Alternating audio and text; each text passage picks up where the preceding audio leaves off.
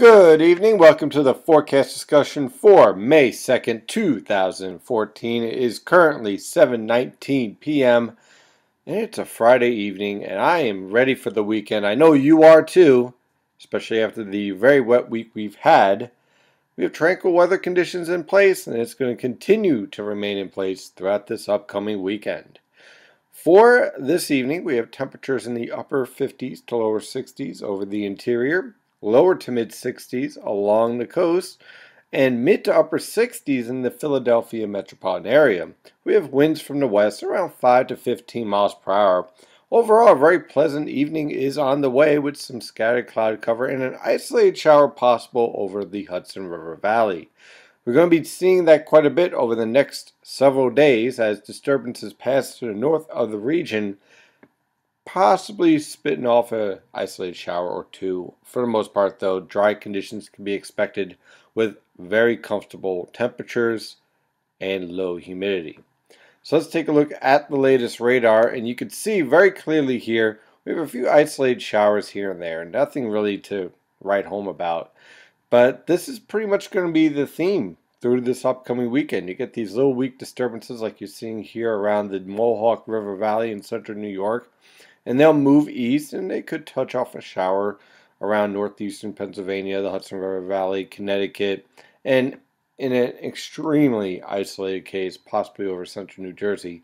The further south you go, the more likely you will remain high and dry throughout this upcoming weekend. So if you're heading down to Wildwood, for example, it's beautiful out, you want to go visit the boardwalk or whatever, well, guess what? should be dry with temperatures pretty close to 70 degrees. Same thing down towards Philadelphia. Temperatures right around 70 throughout this weekend and very comfortable. On the infrared satellite picture, you can see here our cold front is well off the coast, thankfully, because we have another wave of moisture here. This right here is all driven by the subtropical jet stream. We have a clear divide between the subtropical jet stream, which is right here, and the polar jet stream, which is right here, with another one of our disturbances rapidly diving south and east. That will weaken as it moves to the east towards the eastern Great Lakes and then through New England by tomorrow. This again will be another cold front that will touch off an isolated shower tomorrow and Sunday. Again, nothing major, but more of a bit of a nuisance for the most part moving forward. On the water vapor satellite picture, I love using this just because it really shows the whole dynamics of the atmosphere and really gives you an idea of what we're dealing with here. And here we have our nice, large, upper level low in the Gulf of Alaska moving towards the British Columbia and the Pacific Northwest. Now, what this is going to do is basically spit disturbances across the eastern United States on the polar jet stream. So this is driven by the polar jet stream. And then way down here, is our subtropical jet stream that has become amplified as El Nino develops, and you can see all the moisture lifting north along this subtropical jet stream. In between, that's where we are, and we're going to remain in a rather zonal tranquil pattern all the way until about Thursday when things start to get a little bit more interesting with the threat for some rainfall. I'm going to use the European model guidance for tonight, but really you can use pretty much any model guidance at this point uh, as the pattern becomes a little bit more reasonable in forecasting as you get out to about seven days.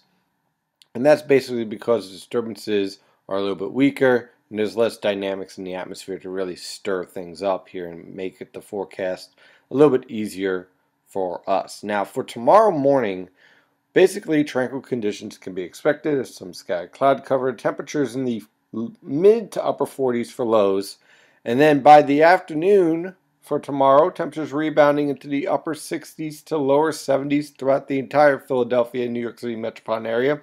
Mid 60s along Long Island due to a bit more of an influence from the Atlantic Ocean. Winds from the west and generally comfortable weather conditions. Again, one of these disturbances, like this one right here, or this one here, or this one down here, could touch off an isolated shower, but again, the key word here is isolated as the atmosphere will be relatively dry. For Sunday, same setup. We have a disturbance passing to our north. Here's one low pressure system with the trailing cold front.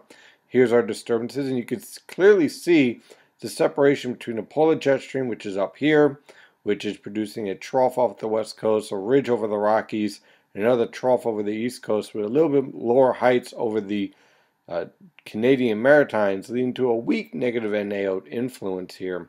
So what we're going to be dealing with is, again, a few disturbances producing an isolated shower or two.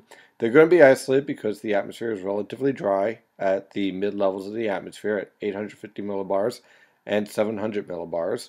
And so what we're going to be dealing with for most part is scattered cloud cover. Temperatures ranging from the upper 40s to lower 50s for lows, mid to upper 60s for highs. For Monday and Tuesday, same setup. Even for Wednesday, same story.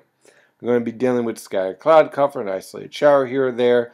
Temperatures in the mid to upper 40s for lows, upper 60s to lower 70s for highs. But notice, by the time we get to Wednesday, we have a little bit stronger of a disturbance with the subtropical jet stream, and that pumps up the ridge here. Now, don't get ahead of yourself and thinking, hey, it's going to get really warm. It will in Virginia, North Carolina, the Tennessee River Valley, where we're going to have a nice ridge, and you can see the warm air really getting itself act together over the Tennessee River Valley, even the Ohio River Valley. But notice it runs into a roadblock over the northeast. Let's zoom in on this here if we can. At 850 millibars, you can see very clearly here that the warm air kind of runs into a wall here. You can see this nice little gradient set up here. So what we're going to be developing here Wednesday evening into Thursday is periods of rain with a slow moving warm front and that warm front will be running into a block because of what's going on in the north northern Atlantic where we have a negative NAO pattern. We have a nice trough. Remember I was telling all the premium members out there this trough out here in the Atlantic is going to cause some problems for us and really prevent any hot and humid weather conditions that you might see, let's say, in Washington or Richmond or down towards Atlanta from really reaching the Philadelphia and New York City metropolitan area. We're going to see this theme quite a bit moving forward throughout the spring and into the summer. So we have a high pressure system fighting along here. I think we've seen this before with periods of showers associated with a warm front that's going to stall out. And for Wednesday, not that bad. Again, temperatures in the upper 60s. We'll see the rainfall develop later in the evening. And then on Thursday, that warm front is just stuck over the northern mid-Atlantic. The warm air just is not able to push further north. At the surface, we're seeing temperatures in the 50s and 60s. At the mid-levels, we'll see temperatures support temperatures in the 80s. We've been through this before, and we know what that means. Periods of rainfall can be expected depending on where this warm front sets up and where it stalls out. So Thursday could be a very wet day throughout the Philadelphia and New York City metropolitan area. And where the warm front sets up will really tell us what type of temperatures we're dealing with, whether we're stuck in the 50s and 60s with an easterly wind coming off the Atlantic, or we drive up into the lower to mid 70s with scattered cloud cover and some severe thunderstorms behind the warm front. A little bit of volatility there. We'll have to wait and wait for for, uh, for a couple days to see how that really plays out on the model guidance and in the overall pattern. Well, that is your forecast discussion for today. Of course, I'm your meteorologist, Stephen DiMartino. Follow the latest weather information at nynjpaweather.com and nynjpaweather on Twitter, Facebook, Google, and LinkedIn. Have a wonderful day, and as always, stay safe out there.